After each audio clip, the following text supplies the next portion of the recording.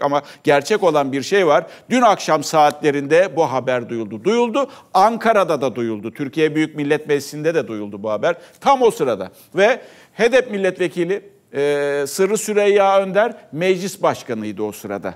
Ve bu haberi aldıktan sonra kurduğu cümle yukarıdaki cümleydi. Mahcubiyetle eğiliyorum Hrant Dink. Ne yapayım?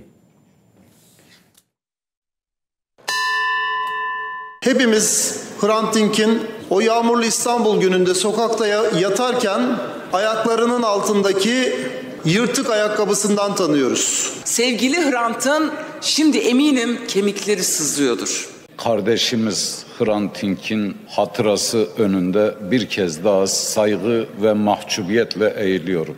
Ne yapar?